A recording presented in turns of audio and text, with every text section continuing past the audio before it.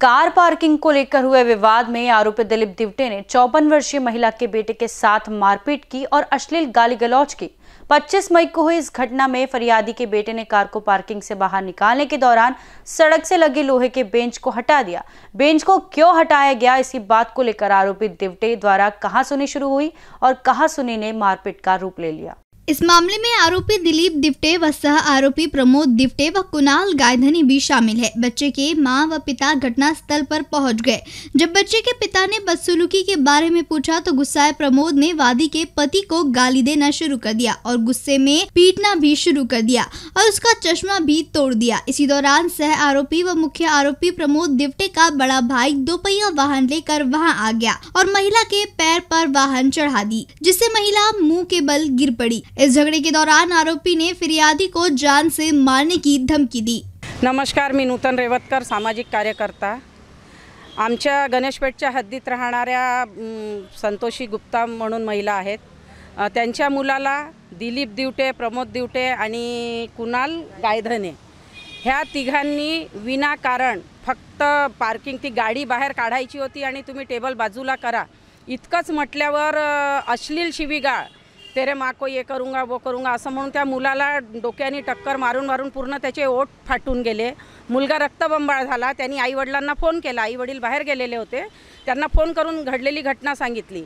आई वडील आल्याबरोबर त्यांनी फक्त सहज म्हणजे मुलाचं इतकं रक्त वाहत आहे असं काय झालं की तुम्ही इतकं मारलेलं आहे? हे विचारलं असता दिलीप दिवटे यांनी त्या गुप्ताजींना पण मारहाण केली चष्मा तोडला ती बाई वाचवायला गेली तिलासुद्धा मारहाण केली. इतकंच नाही तर त्याच्या भावाने लिटरली जिवे मारण्याच्या उद्देशाने त्यांच्या गा अंगावर गाडी आणली बाईच्या पण ती गाडी तिच्या पायावर गेली आणि ती खाली पडली.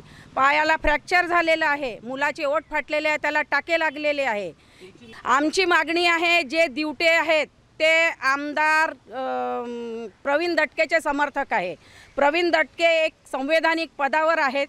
त्यांनी क जे काही प्रकरण घडलेलं होतं त्या प्रकरणाची आधी माहिती घ्यायला पाहिजे होती.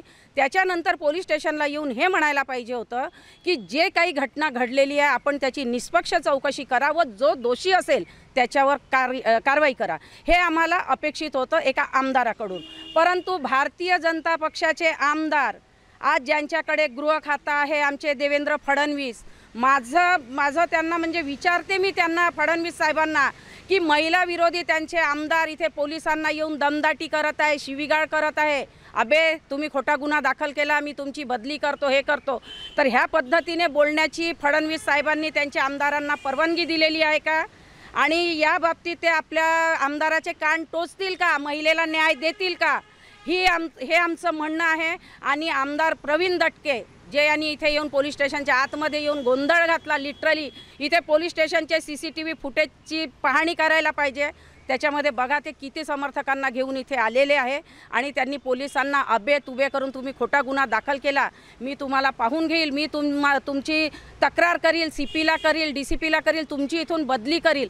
असं इथे म्हणण्यात आलेलं आहे. आणि त्यामुळे पोलीस स्टेशनचे कर्मचारी दडपणाखाली आहे. कोणीही काही म्हणू शकत नाही कारण की गृह खातं हे भारतीय जनता पक्षाकडे आहे. आणि प्रत्येक पोलिसांना ही भीती आहे की आमच्या नोकरीवर काही येऊ शकते म्हणून ते काही बोलत नाही आहे पण माझी मागणी आहे आरोपी बिनधास्त फिरून राहिलेला आहे. सरळ त्यांना म्हणत की, मेरा किसने क्या बिगाड़ा?